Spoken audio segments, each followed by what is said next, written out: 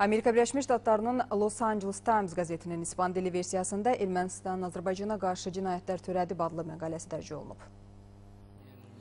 Los Angeles Times nəşrinin İspan dili versiyasında Azərbaycanın Los Angelesdəki baş konsulu Nəsimə Ağayevdən video müsahibə yerləşdirilib.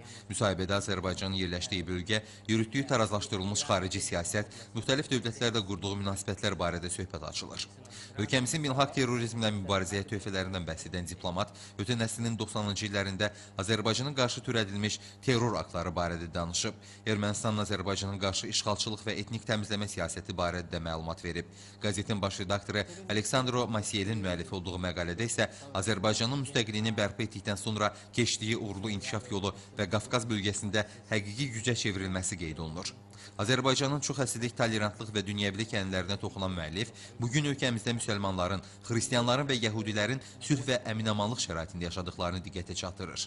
Müəllif Azərbaycan ərazilərinin Ermənistan silahlı qüvvələri tərəfindən işğal olunduğunu, bir sıra beynəlxalq təşkilatların bununla bağlı qətnamələr qəbul etdiyini vurğulayır. Həmin qətnamələrdə Ermənistan tərəfindən Azərbaycana təcavüz edildiyi, etnik təmizləmə siyasəti həyata keçirildiyi və insanlığa qarşı digər cinayətlər törədildiyi bildirilir.